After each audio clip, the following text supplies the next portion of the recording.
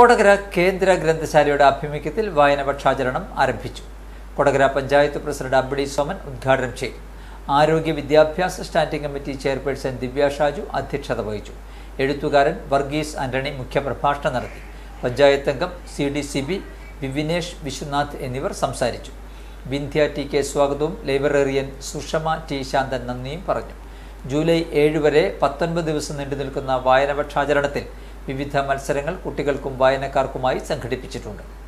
അദ്ദേഹത്തിന്റെ കവിതകൾ കവിതക്കൂട്ട് എന്ന് പറയുന്ന പുസ്തകം നിങ്ങൾക്ക് വായിച്ചിരിക്കേണ്ട ഒരു പുസ്തകമാണ്. നർമ്മത്തിൽ പൊതിഞ്ഞുകൊണ്ട് സാമൂഹ്യ പ്രതിബദ്ധത അല്ലെ പാരിസ്ഥിതിക വിഷയങ്ങളെ നർമ്മരസത്തിൽ പൊതിഞ്ഞുകൊണ്ട് പരിഹാസാത്മകമായി കവിതകൾ എഴുതുകയും വായിക്കുമ്പോൾ ഈ ഒരു കാലത്ത് വായന നമ്മളിൽ നിന്ന് വിട്ടുപോകുന്ന ഈ ഒരു കാലത്ത് ഇതൊരു വലിയ കാര്യം തന്നെയാണ്.